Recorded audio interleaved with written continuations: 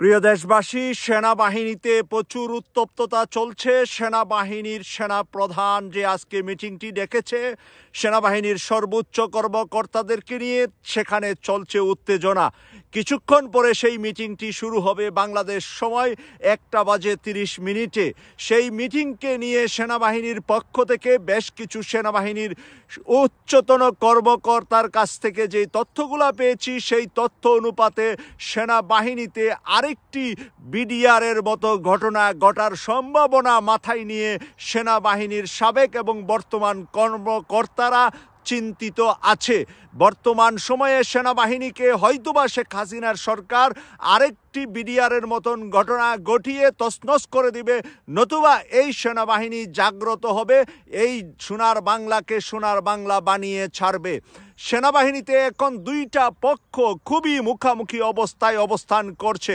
যে কোনো সময় যে কোনো সেনাবাহিনীর সদস্য একে অপরের দিকে পিস্তল তুলে ধরতে পারে, বন্দুকের নলা তুলে ধরতে পারে। বাংলাদেশের সেনাবাহিনীতে বিদ্রোহ ঘটার খুবই খুবই সম্ভাবনাময় সময় দেখা যাচ্ছে এবং এই সম্ভাবনা তৈরি করেছে ভারতের র।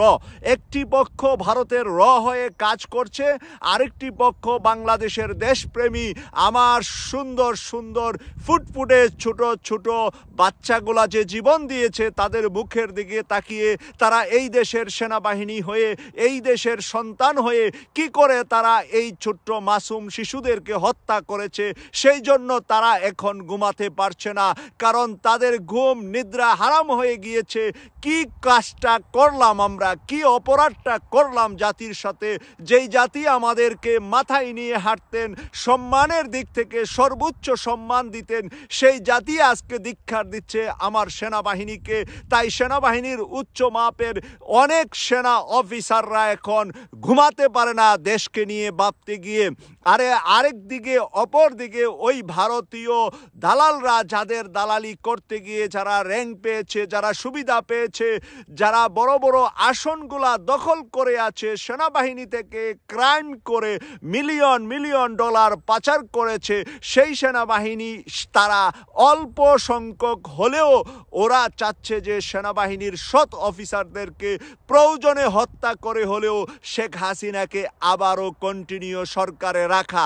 তাই সেনাবাহিনীর এই উত্তপ্ততা নিয়ে আজকে আমরা সবাই খেয়াল রাখব আমাদের বাংলাদেশের কি নিউজ আজকে আসে? কারণ আজকের এই নিউজটি বিকাল পর্যন্ত আপনারা জানতে পারবেন সেনাবাহিনী কোন দিকে যাচ্ছে, সিদ্ধান্ত কি হচ্ছে এবং সেনাবাহিনীর মাধ্যমে আমরা কোন দিকে কোন আশা? আমরা যে আশার স্থলটি সর্ব, সর্বশ্রেষ্ঠ আশার জায়গাটি সেনাবাহিনী, সেই সেনাবাহিনীর আজকে কঠিন পরীক্ষার মধ্যে আছে। সেনা প্রধান যত কিছুই হোক, শেখ হাসিনার যত আত্মীয় হোক, যাই হোক, কিন্তু একজন দেশ প্রেমী সেনা বা অফিসার হিসাবে উনি সেনাবাহিনীতে যে যোগ দিয়েছিলেন, ওনার শপথ যে ভঙ্গ করেছেন, সেই শপথ ভঙ্গের জন্য উনি নিজেও এখন বিশাল বিশাল অনুশোচনা, অনুতপ্ততায় ভুগছেন।